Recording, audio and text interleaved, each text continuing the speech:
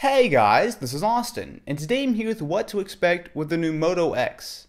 So the Motorola X phone has been leaked and rumored and hyped for months now, so let's take a look at what could be one of the coolest phones of this year.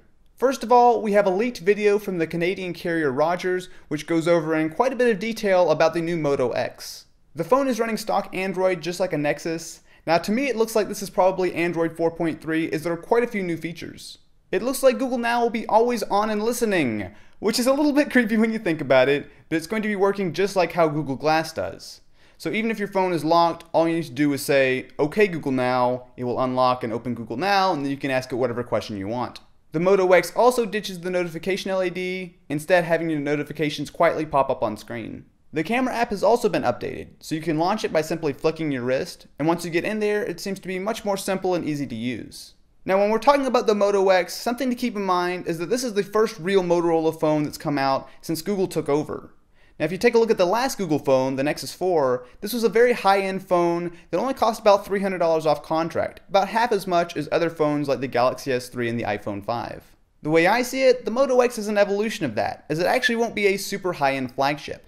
To be totally honest, what's the point? Pretty much every single company has some very expensive phone that's very high end, whereas this can be something unique. Instead, it will have more mid-range specs, with a 4.7-inch 720p screen, a dual-core Snapdragon processor, LTE support, as well as a 10-megapixel camera. That might not sound that amazing, but I wouldn't be surprised if the Moto X is closer to $200 off contract.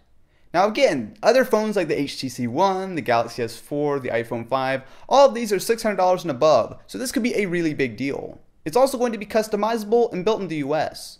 So that means you'll be able to change the color of the phone, as well as even get some engraving on it if you'd like. The Moto X should be launching in August worldwide, which means it's only about a month or so away, and it will be launching on pretty much all the major carriers, including AT&T, Sprint, Verizon, and T-Mobile here in the US. So what do you think of the Moto X?